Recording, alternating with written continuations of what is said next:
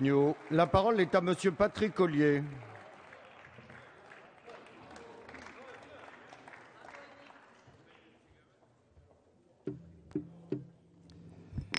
Monsieur le Président, Madame la garde des Sceaux, Madame la Ministre, Madame la Présidente, Monsieur, Madame la rapporteure, chers collègues, Madame Guignot, moi quand je vous entends, je suis heureux d'être contre ce texte. Et je constate que lorsqu'on n'est pas d'accord avec vous, nous sommes des hypocrites. Est-ce ça la conception que vous avez de la démocratie? Je vous interroge parce que M. Leroux, il y a quelques instants, il est reparti, est venu pour dire qu'il protestait contre les propos homophobes qu'il entend de ce côté de l'hémicycle. Madame Le Morton n'a eu de cesse que de vitupérer contre aussi l'homophobie. Mais ça va, oui, ça va. Monsieur Assaf, Monsieur Baïs, peut-être vous tout à l'heure, n'avez de cesse que de parler d'homophobie parce que nous ne sommes pas d'accord avec vous. Je veux, Madame le garde des Sceaux, d'abord dénoncer ces accusations d'homophobie vis-à-vis de nous, parce que ce n'est pas parce que nous ne sommes pas d'accord avec votre manière de régler le problème de l'union de deux personnes de même sexe que nous sommes homophobes. Nous avons le droit d'avoir des idées différentes des vôtres et je récuse ces accusations. Elles sont fausses, elles sont injustes, elles sont insultantes, je dirais même qu'elles sont méchantes. En définitive, vous êtes des méchants. Vous êtes des méchants. On n'est pas d'accord avec vous, alors nous sommes des homophobes. On n'est pas d'accord avec vous, alors c'est un déni de démocratie. Je dénonce l'amalgame de la majorité qui est insultant pour nous. Évolution de la société, nous sommes d'accord, chers collègues, la société évolue. Sacralisation en mairie, nous sommes d'accord. Égalité des droits sociaux, successoraux, patrimoniaux, nous sommes d'accord. Monsieur Le Bouillonnec, tout à l'heure, parlait du mariage contrat. D'autres parlent du mariage amour. Et tout à l'heure, Monsieur Bloch disait euh, la place des couples homosexuels, nous, UMP, nous ne la reconnaissons pas.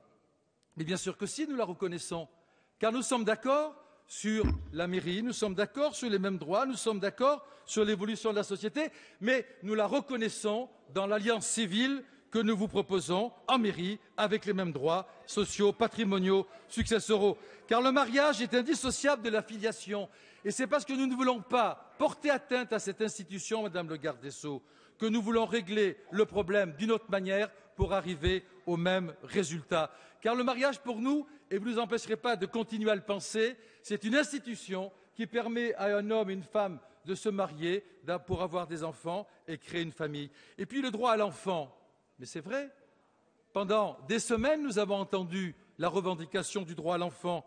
Il prime sur le droit des enfants. C'est vrai que c'est un problème qui nous préoccupe et c'est vrai que cette question nous intéresse beaucoup. Pourquoi créer des conditions artificielles à travers cette prétendue égalité afin d'organiser la famille de demain à travers la PMA pour deux femmes et la GPA forcément inévitable pour deux hommes Alors vous dites c'est une promesse du candidat Hollande. On a compris que c'était une promesse du premier tour. Mais là, j'ai la profession de foi de M. Hollande, distribuée à 40 millions d'exemplaires pour le second tour, car il s'agissait de rassembler tous les Français pour essayer de se faire élire, ce qu'il a réussi. Il n'y a pas un mot dans cette profession de foi sur cet engagement. C'est faux. Au second tour, il n'a pas fait état. Pourtant, il parle du non-cumul des mandats, il parle de la lutte contre les discriminations, l'immigration maîtrisée, il parle du logement, il parle de la défense de, la, défense de l'épargne populaire. S'il vous plaît. Tout y est, sauf le vote des étrangers et sauf le mariage pour tous. Alors arrêtez de nous parler de cette promesse. Madame le garde des Sceaux, je vous connais, je connais votre sincérité, je ne mets pas en doute. Et nous aurions pu vous croire sincère, et je veux toujours vous croire sincère, sur votre volonté de ne jamais accepter la, la GPA, la gestation pour autrui. Mais je suis obligé de parler de cette circulaire. Je ne peux pas m'en empêcher. Parce que, mais oui, vous pouvez faire Ah, c'est parce que vous faites Ah qu'elle n'existe pas. Elle est là, la circulaire. Très bien, merci. Alors vous avez dit hier, vous avez dit hier question d'actualité, cette circulaire adressée aux greffiers. Non, elle est adressée aux procureurs généraux près les cours d'appel, procureurs près le tribunal d'instance, messieurs les procureurs de la République, et à, la fin, bien sûr, aux greffiers.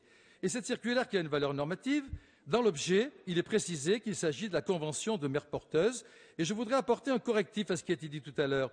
Car dans le dispositif, L'attention à la chancellerie, pardonnez-moi de le rappeler, a été rappelée sur les conditions de délivrance du certificat de nationalité française aux enfants nés à l'étranger lorsqu'il apparaît avec suffisamment de vraisemblance, Madame le garde des Sceaux. Moi, j'aimerais qu'on me donne la définition juridique de la vraisemblance. Je suis allé chercher dans le dictionnaire, c'est ce qui semble possible. Est-ce qu'une circulaire qui se veut normative peut, peut utiliser de tels mots Peu importe. Pardon? Eh je termine, Monsieur le Président.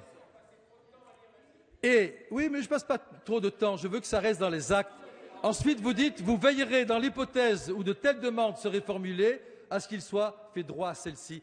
J'aurais aimé, Madame le garde des Sceaux, que dans, cette circulaire, vous parliez de l'atteinte à l'ordre public. J'aurais aimé que vous rappeliez l'interdiction de la GPA et j'aurais aimé que vous demandiez au procureur en même temps de poursuivre ceux qui ont commis des actes illégaux, même si c'est à l'étranger.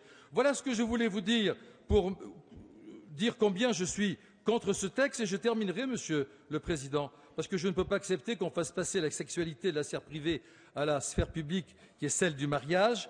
Moi aussi, je souhaite le référendum.